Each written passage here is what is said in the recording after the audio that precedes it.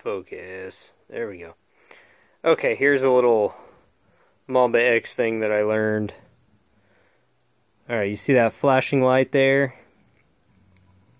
This right here kind of freaked me out because I thought it was a, uh, or an error code. But what it is, is it's telling me that there is data stored in the ESC. And you can bypass it or whatever and get it to shut off. But that's what that little teeny tiny light is flashing for. Is saying, hey, I have data in here. I have data. I have data. Download it. Clear it. And all that stuff. So that's what the Honcho does, and that's exactly what the Jeep does. As I haven't really dove into the software because I hate that stupid box right there.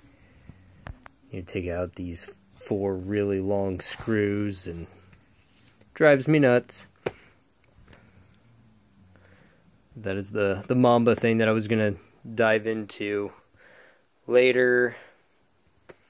So I decided to do it now. Oh yeah, there we go. Now we're in focus. Blink, blink, blink. But that's all that is. And I thought there was something wrong with the ESC, but it's not. It's just telling me that it's got, you know, data on it.